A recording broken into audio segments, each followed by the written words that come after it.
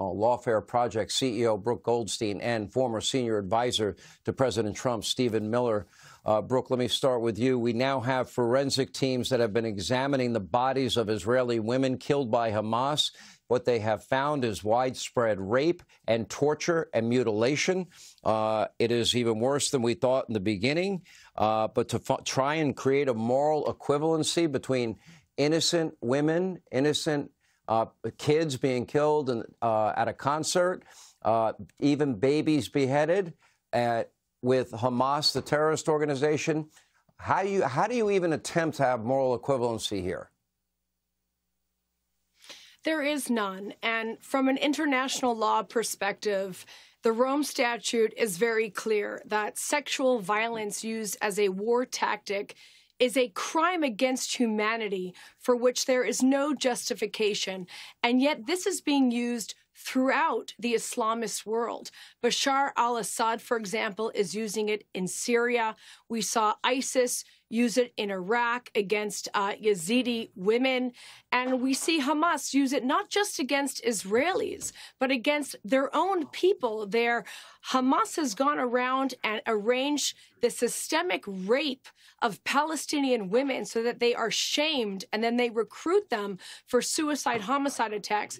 And what we saw with the Congresswoman really was a stunning display of insensitivity and really showed the true colors of the progressive wing of the Democratic Party. They don't care about women, they don't care about minority rights. She can't even bring herself to unequivoc- unequivocally condemn the rape of women in a war context. And that is because of the politicization of the human rights movement and human rights organizations such as UN And women, which it took eight weeks for them to condemn this. They have become the mouthpieces of radicalization because their hatred of the Jewish people and the Jewish state is so great that they've lost all context and all credibility.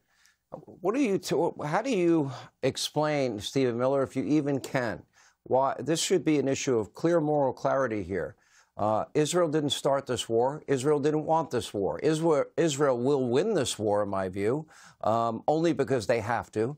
They have gone to extraordinary lengths, dropping leaflets, hitting cell phones, doing everything possible, telling the innocent people uh, in Gaza where they can go to, specifically where they will be safe. In other words, that they will not attack those areas. Uh, what more do we expect Israel to do, especially when their very survival is at stake? Because most people don't seem to know that in Hamas's own charter, it calls for the destruction of Israel.